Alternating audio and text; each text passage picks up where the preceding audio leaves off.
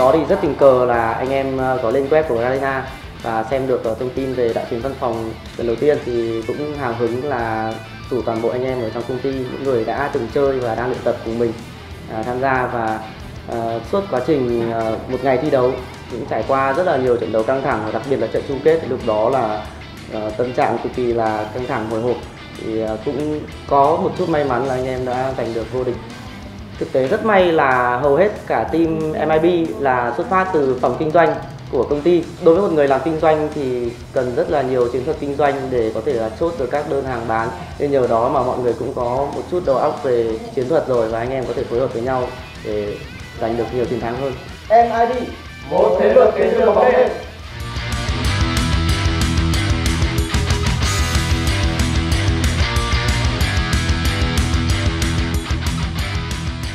Đại chiến văn phòng mùa 1